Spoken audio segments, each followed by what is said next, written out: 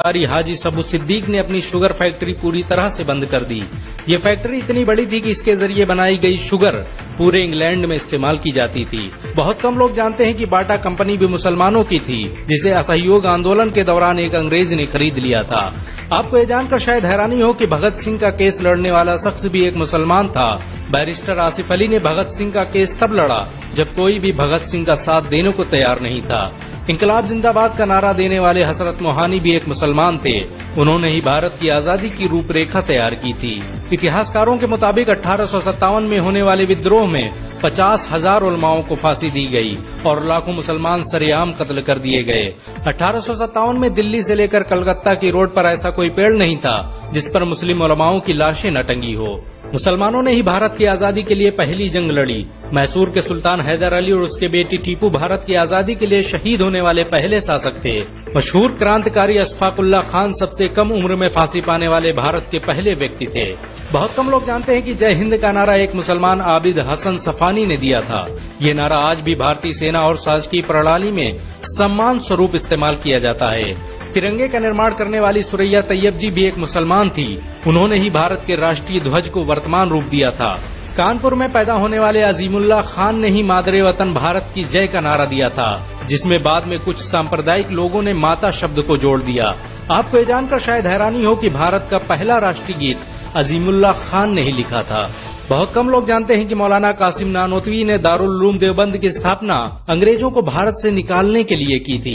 इस मदरसे का मकसद देश में ऐसे नौजवानों को पैदा करना था, जो भारत की आज़ादी में योगदान दे सके। रेशमी रुमाल आंदोलन की शुरुआत करने वाले मौलाना महमूदुल हसन और मौलाना उबैदुल्ला सिंधी दारुल उलूम देवबंद के ही छात्र थे।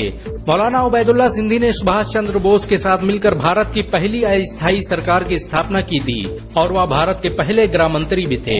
आपको ये जानकर शायद हैरानी हो कि मौलाना महमूदुल हसन ने ही 1920 में गांधी को महात्मा का लकब दिया था।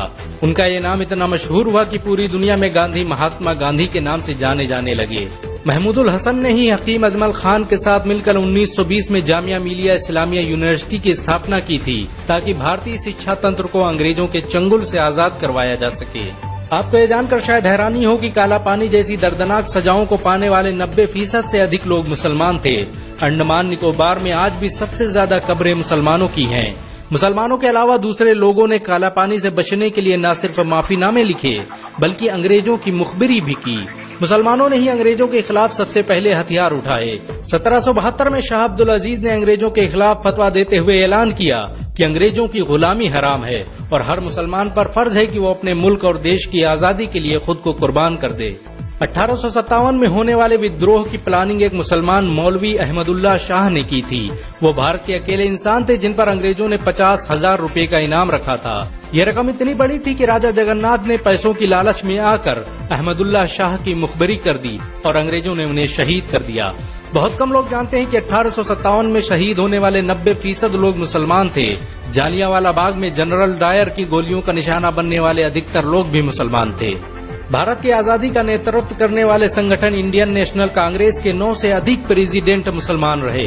गांधी जी ने अफ्रीका में जहाँ वकालत की पढ़ाई की, वो कॉलेज भी एक भारतीय मुसलमान का था। और वह जब भारत में आए तो उन्होंने आज़ादी के लिए अली ब्रदर्स के साथ काम करना शुरू किया, जो कि मुसलमान थे। बहुत कम लोग जानते हैं कि 1921 में केरल के मुसलमानों द्वारा अंग्रेज़ों के खिलाफ लड़ी गई जंग में तीन हज़ार से अधिक मुसलमान शहीद हुए थे और पचास हज़ार मुसलमानों के जेल में कैद कर दिया गया था। ये आंदोलन मोपला मुस्लिम आंदोलन के नाम से जाना जाता है। 1942 में शुरू हुए भारत छोड़ो आंदोलन की रूपरेखा मौलाना अबुल कलाम आज़ाद ने तैयार की थी। संविधान निर्माता डॉक्टर भीमराव अंबेडकर को पहचान दिलाने में मुसलमानों का बड़ा योगदान रहा है। 1946 में जब भीमराव अंबेडकर दलित होने की वजह से इलेक्शन हार गए तो बंगाल मुस्लिम लीग ने उन्हें मुस्लिम इलाके से इलेक्शन लड़ने की दावत दी। इस तरह भीमराव अंबेडकर संविधान सभा का हिस्सा बन सके। अगर मुसलमान भीमराव अंबेडकर को इलेक्शन न जिताते तो उन्हें कभी भारत के संविधान को लिखने का मौका न मिलता। भारत की आज़ादी के लिए सबसे ज़्यादा लेख, शायरी, गीत और किताबें मुसलमानों ने ही लिखी। अल्लामा इकबाल के ज़रिए लिखा गया सारे जहाँ से अच्छा आज पूरे भारत में गाया जाता है। आपको ये जानकर शायद हैरानी होगी कि देश के लिए शहीद होने वाला पहला पत्रकार मौलाना मीर बाकर एक मुसलमान था। भारत की आज़ादी के लिए मुस्लिम राजाओं और महाराजाओं ने अपने खजाने खोल दिए। कोलकाता के हाजी उस्मान सईद ने अपना सब कुछ भारत की आज़ादी के लिए कुर्बान कर दिया। हाजी उस्मान की अमीरी का अंदाज़ा इसी बात से लगाया जा सकता है कि 1920 तक कोलकाता में बनने वाला हर स्कूल और हर बड़ी बिल्डिंग उन्हीं की थी। कोलकाता के पहले सुपर स्टोर कैश बाज़ार की बुनियाद हाजी सईद ने ही रखी थी।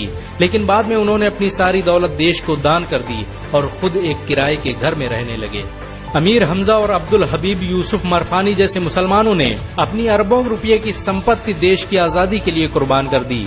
सुभाष चंद्र बोस द्वारा अफ़गानिस्तान में स्थापित की गई सरकार में नौ में से पाँच मंत्री मुसलमान थे। भारत की आज़ादी के लिए देश भर में मौजूद मस्जिदों को किलों की तरह इस्तेमाल किया गया। इन मस्जिदों में सुबह शाम हर वक्त भारत की आज़ादी के लिए ऐलान हुआ करते थे। आज़ादी के वक्त कोई मस्जिद ऐसी नहीं थी जिसकी दीवारों पर मुसलमानों का खून न लगा हो। इन सब के अलावा ऐसे करोड़ों मुसलमान हैं जिन्होंने भारत की आज़ादी और उसकी अस्मिता के लिए अपना सब कुछ कुर्बान कर दिया। सच तो ये है कि भारत की आज़ादी मुसलमानों के बगैर मुमकिन न थी। भारत आज भी आज़ादी के लिए मुसलमानों का एहसान मंद है।